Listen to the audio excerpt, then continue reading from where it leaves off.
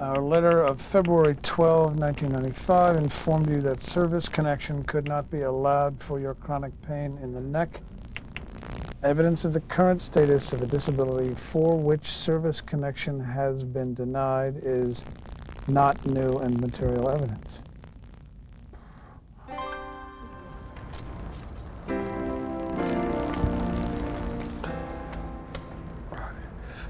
Hey, Greg, what's up? Hey, it's been a while. Yeah, how you been? All right. What'd you do to yourself? Oh, I busted it up pretty bad when I was in Vietnam. Now I'm standing on it all the time at work and it's acting up. Listen, are, are you still with the VA? Yeah. Well, well, maybe you can help me out. Sure. I sent them a letter explaining what happened to my knee, trying to get some more money, and I sent them some of my records, and they sent me a letter back saying I needed to send new and material evidence. What is new and material evidence? Okay, you're probably seeing a doctor regularly for the knee, right? Yeah. And you've sent them medical records that they've reviewed. You need to send them copies of your most recent medical files. And don't forget, put your VA file number on the record so they can match them up with your file. Well, why don't they say all that in the first place? I don't know, man. It's one of those things. Look, I was just thinking. Hi, my name is Melody Mercer, and I'm an insurance specialist in the VA Insurance Center in Philadelphia. For the past several years, I've been involved in the Reader Focused Writing Initiative, both locally in my office and nationally as part of the implementation team that put the Reader Focused Writing Initiative together. In the future, I'll be one of several instructors who will be teaching the satellite training for the Reader Focused Writing Tools course that many of you will be taking. And now, I'd like to introduce you to Dr. Kevin Dungy. For years, I've been working with federal agencies and businesses to help improve their writing. Drawing on that experience, I've been working very closely with the Reader-Focused Writing implementation team to produce and design reader-focused writing curriculum. Since Kevin and I have been so involved with the training, it's exciting for us to bring you this videotape to tell you more about the Reader Focused Writing Initiative.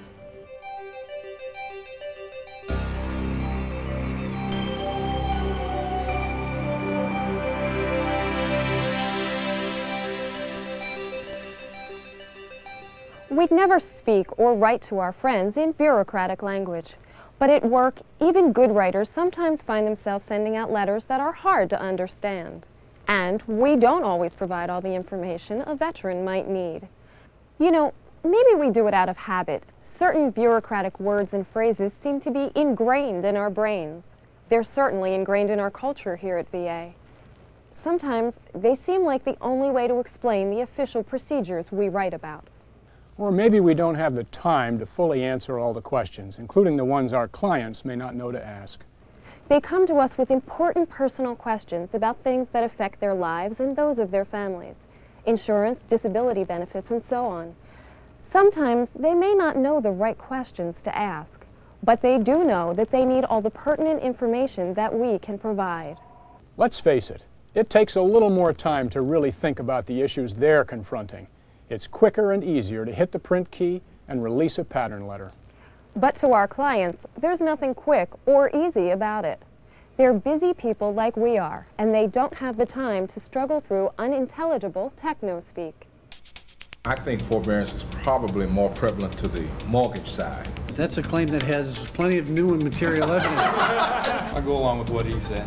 It is an item which goes with vocational rehab. I, I haven't got the foggiest notion. This is really insulting. Well, I'm just take a guess. It's Something like a retirement home or a policy.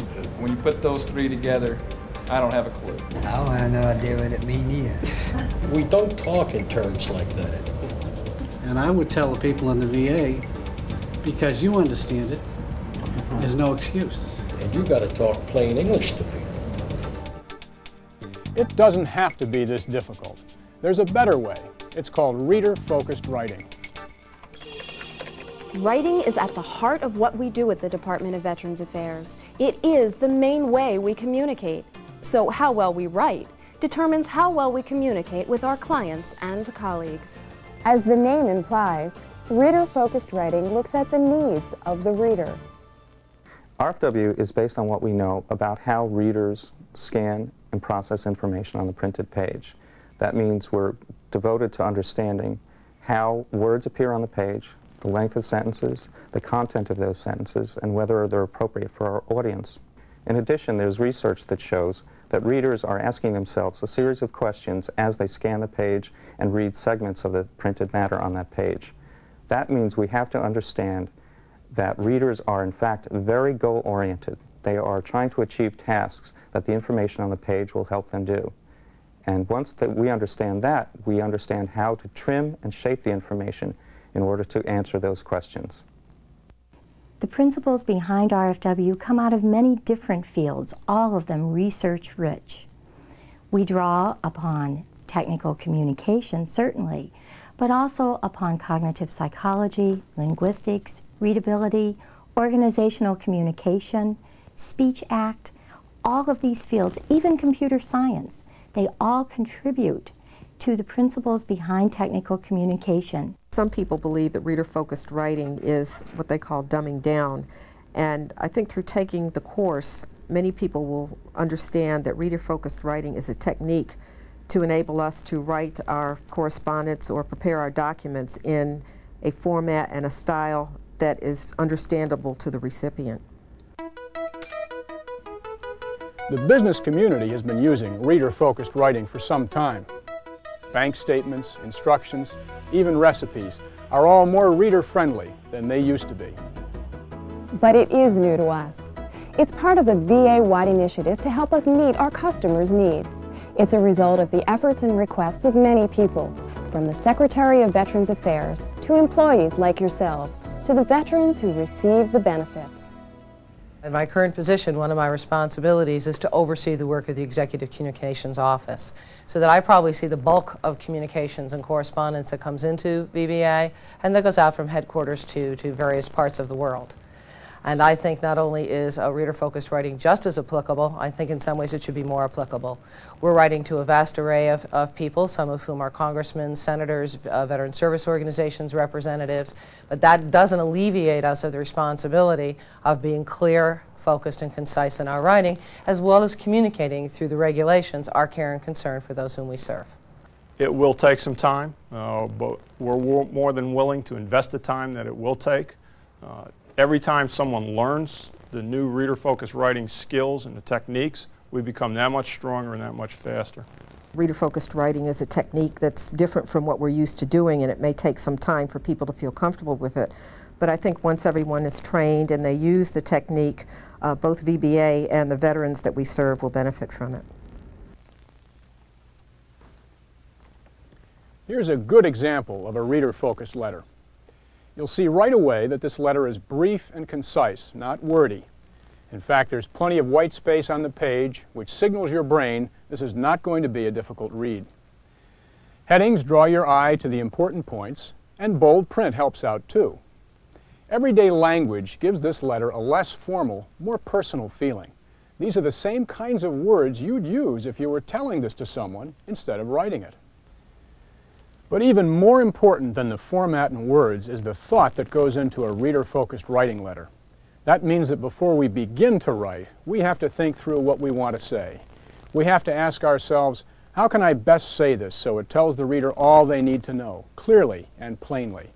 Are my explanations simple and straightforward? Is the letter specific to the issue at hand? Veterans shouldn't have to reread our letters or find a lawyer to translate them.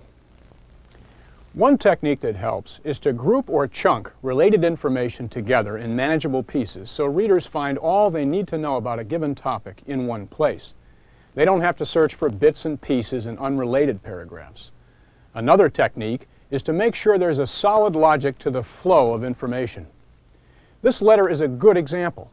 It starts by telling the reader what prompted the letter, then it describes the VR&C program, and then it clearly explains what the reader should do to make a counseling appointment. It's well thought out. Research shows that this type of thoughtfulness and organization can increase readability by 85 to 90 percent. Good formatting is important, but it only counts for 10 to 15 percent of a letter's readability. The key is to use them both, because by now you know the bottom line. Do everything you can to help the reader. Eventually, reader-focused writing will touch everyone here at VA.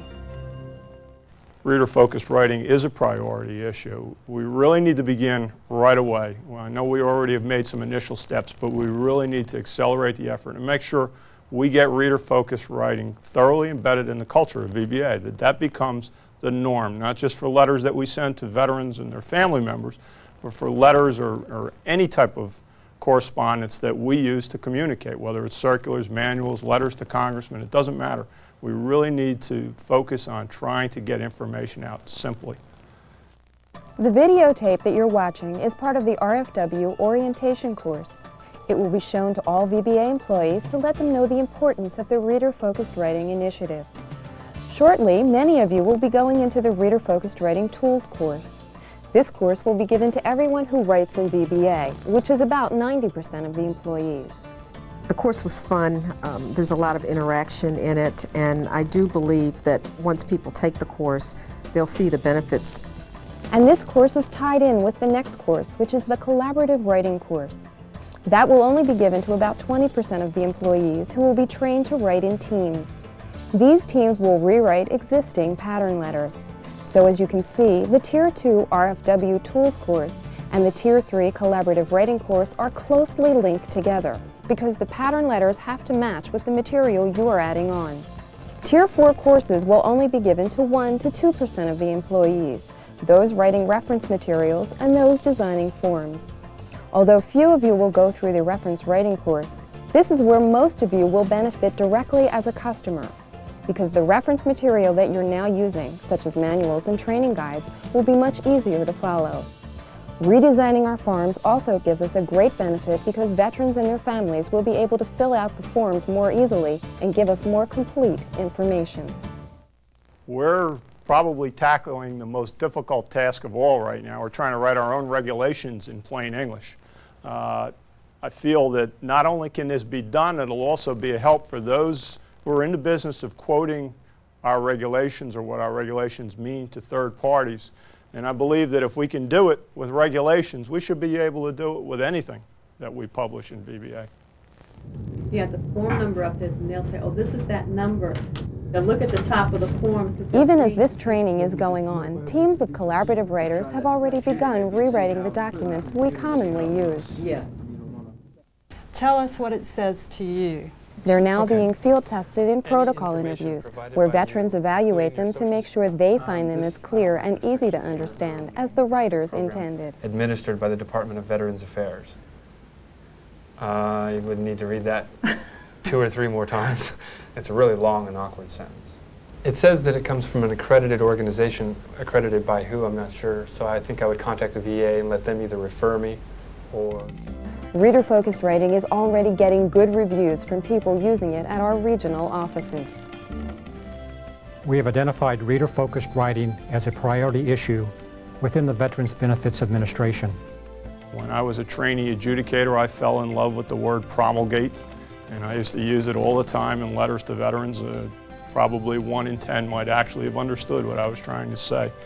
Uh, we need to get away from that kind of thing. We need to learn to speak and communicate in a language that the people we're writing to can understand. And one of the difficulties I have seen consistently is our ability to communicate to people in an open, honest, frank, and caring way. Our emphasis in the past has tended to be on the statutory aspects of that communication, which, while important, often confuses the reader and doesn't actually get after the kind of empathy or concern or care we should be about in responding to people who've written to us with a problem who have written to us because they don't understand why we can't do something they've asked us to do. We've done a lot of protocol tests of reader-focused writing letters, and one thing that we're finding out that a lot of veterans like is the outline, structure, and format of the letters. They've used the word outline because the way the letter is laid out and the formatting, the organization, helps them to find what they need to know quickly. It will continue to be a success only if each one of us contributes. We'll all need to break some old habits. We have to anticipate what our readers need to know and how we can best tell them before we send out letters. We have to be willing to think readers and not just push buttons. If we do this, we'll find that the benefits are very real. For one thing, reader-focused writing improves client relations. Veterans respond more quickly and accurately to correspondence they can actually understand and they report a greater satisfaction with the VA. which is good for our public image. And there are some benefits for us at VA too. For one thing, our manuals will be a lot less frustrating to read once they're rewritten using reader-focused writing. And we'll spend less time writing follow-up letters and explaining things on the phone to clarify what we meant to say in the first place, so it will boost productivity. And we can take pride in knowing we've been more responsive to our clients and that we've treated them with concern and respect. When we use reader-focused writing, we know we've done the best job that we could, and that's a reward in itself. Reader-focused writing fits very well with the NPR's efforts to reinvent government.